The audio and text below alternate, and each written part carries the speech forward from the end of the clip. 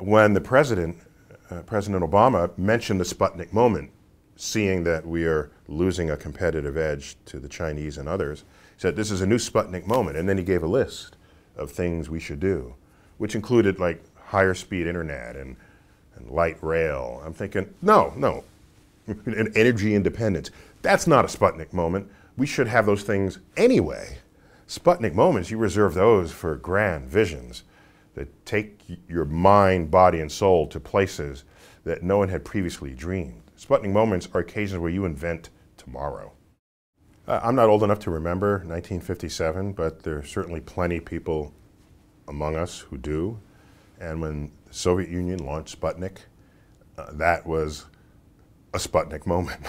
Uh, this was uh, our sworn enemy, the communists, and we had our own state of self-assessment that we were technologically proficient. You know, we won the war. Our manufacturing was back in place. And here's this country that we were telling the whole world that we were better than they were in every way that mattered. And bam, out comes a satellite. Our response was we created NASA. First we went berserk, then we created NASA a year later. Uh, we redoubled our efforts in science and technology and engineering, and that would shape the identity of the United States from the end of the 1950s through the 1970s.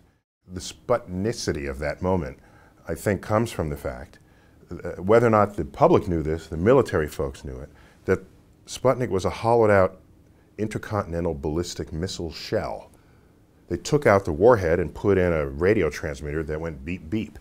The military folks knew that if they could put a radio transmitter in a ballistic missile shell and fly it over our heads, that they have the new high ground.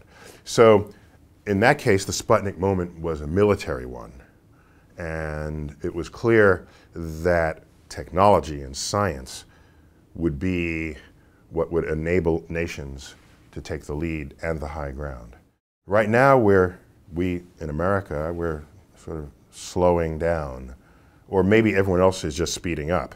But the effect is we've lost our edge, we've lost our leadership position. When President Obama said, in a Sputnik moment, uh, in fact, we will rejuvenate the space program. The space program, in fact, is not dead. It's just kind of smoldering back there. One of them is we'll be back to Mars in the 2030s. 2030s? Uh, maybe as early as the late 2020s who's going to be president? On what budget?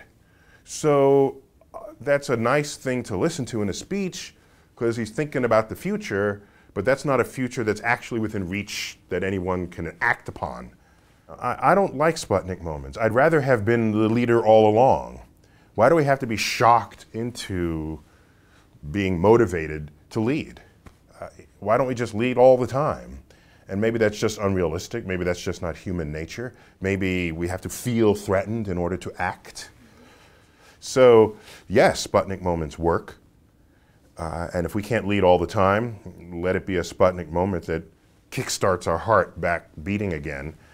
Um, but I, I, can't help but be a little disappointed uh, that we haven't stayed there, that we're going to have to play catch up if we're going to catch up at all.